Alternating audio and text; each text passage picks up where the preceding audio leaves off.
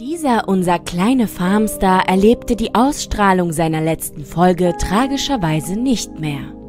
Carl Swenson starb im Alter von 70 Jahren. Er war in der Serie als Lars Hansen bekannt und stieß in der fünften Staffel dazu. Er war wichtig für den Plot der Serie, da er der Besitzer der Sägemühle war und Michael Landons Rolle Charles Ingalls nach dessen Ankunft in Walnut Grove einen Job gab.